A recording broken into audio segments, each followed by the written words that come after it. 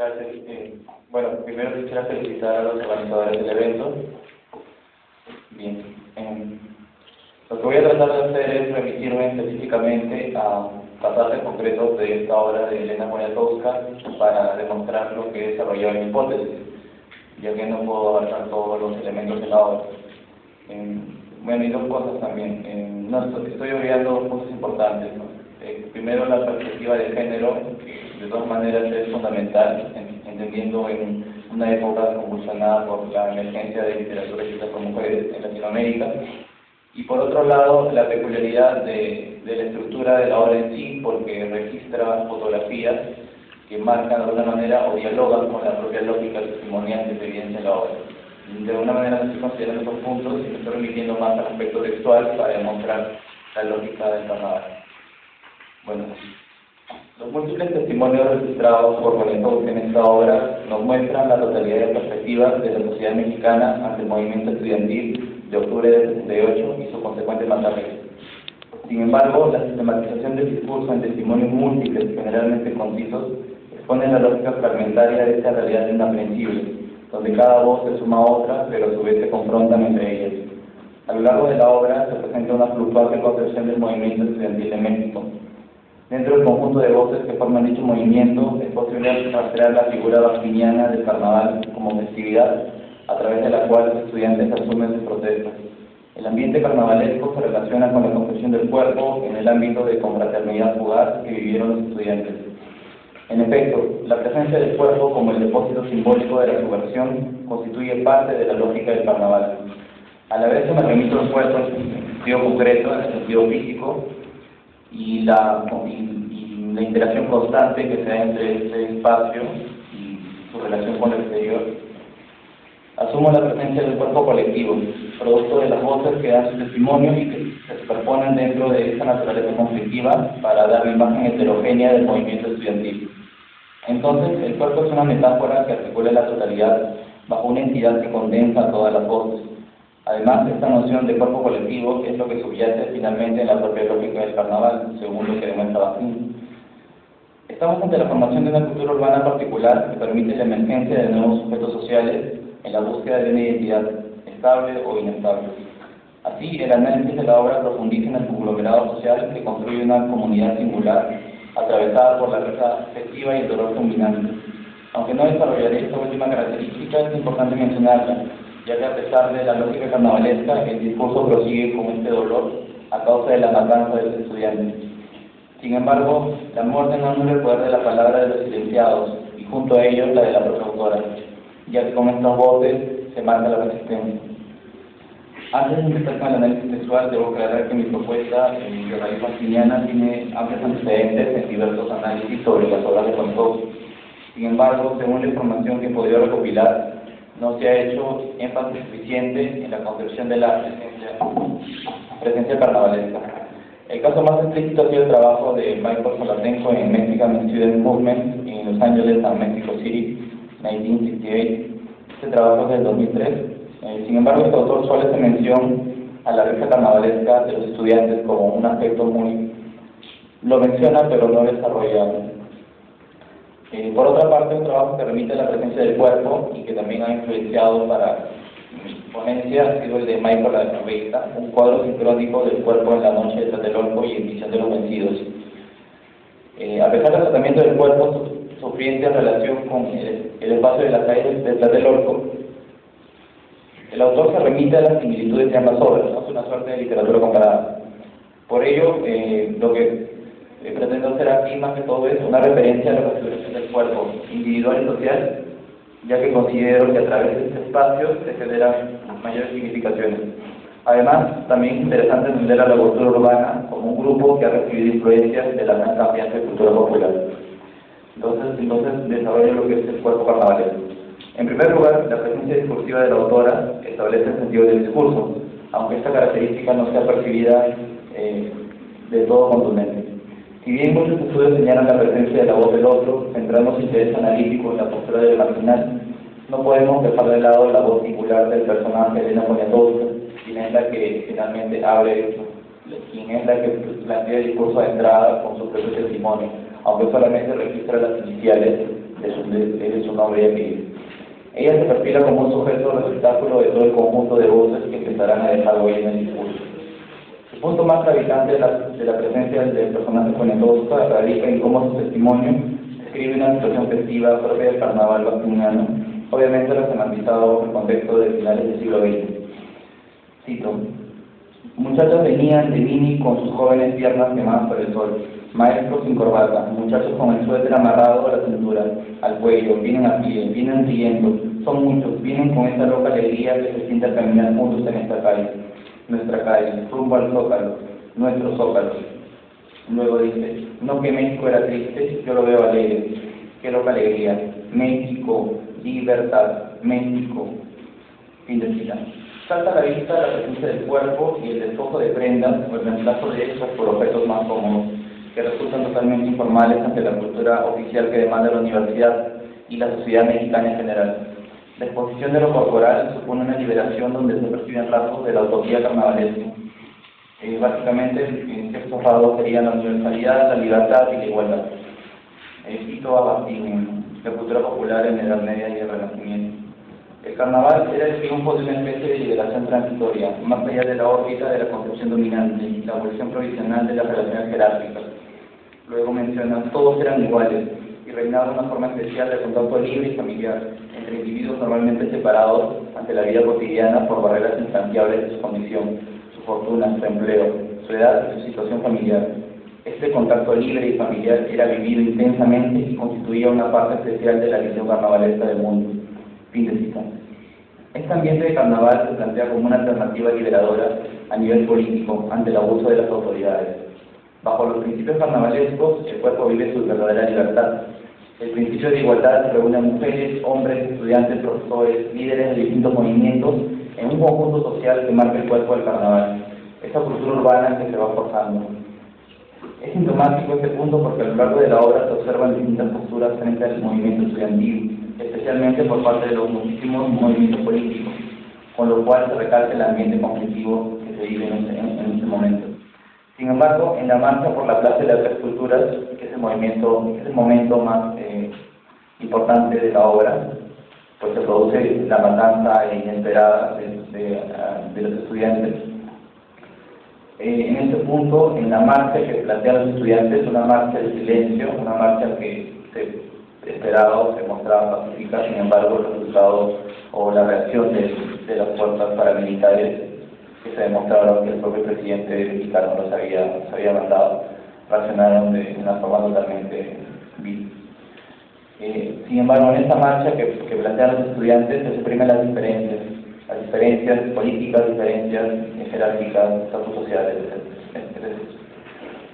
Este espacio no es gratuito, el espacio de las tres culturas, ya que la plaza es el lugar por antonomasia donde la cultura popular, o en la actualidad la cultura urbana, normalmente deambula y hace eco de sus manifestaciones. Acá podemos trazar un paralelo entre esta obra y, Lumpérica de Mendelí. Pues en ambas, eh, en se muestra cómo eh, la plaza es un lugar apropiado para la presencia de los marginados a través de la, de la presencia de lumbre. ¿no? y también estamos hablando de un contexto, este, eh, un contexto problemático por la dictadura chilena. Bueno. Entonces, en esta idea de la plaza se sitúa el conglomerado social, por tanto es el ambiente propicio para el carnaval. Eh, la formalidad se anula frente al contacto libre. Las mujeres optan por ropas que demuestran el carácter degradado de la feminidad conservadora, mientras que los profesores pierden presencia simbólica al despojarse de la corbata, convencionalmente asociada a la actividad del estatus social. No interesa marcar diferencias, sino unirse en la pura expresión de lo que el cuerpo manifiesta a través de su lógica experiencial. Entonces, la presencia del arte festiva produce un acto subversivo que anula los estereotipos sociales y, por tanto, degrada y rebaja la norma social, a su vez despotrica los dictámenes del gobierno. Con ello se cumpliría otro principio del carnaval. Eh, acá me remito a problemas de la poética de Dostoyevsky, de Grimo así. La cuarta categoría carnavalesca, la profanación, los activistas carnavalescos, todo un sistema de rebajamientos, menguas carnavalescas, las parodias carnavalescas textos y sentencias, etc.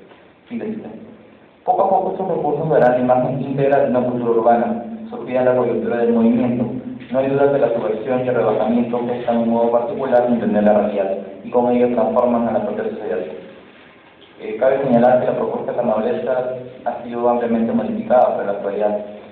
Eh, las fuerzas generadoras de la tierra y el cuerpo, o las dualidades ambivalentes, no son evidentes en la noche de Tlatelolco, ya que la presencia del hecho catastrófico de la obra tiene actitudes políticas y proyectos de modernidad mal causados.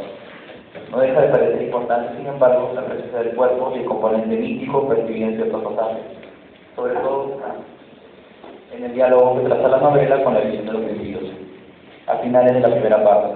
Incluso se repite cita extensa de, esta crónica. Elementos como el acto ritual se insertarían en la lógica de la presencia de la tierra como elemento material signo de la cultura popular. Un caso importante de destronamiento es lo que se nos dice en una porra furiosa en la manifestación del 13 de agosto. Cito la obra. Sal al balcón, hocicón. Sal al balcón, hocicón. Fin de cita.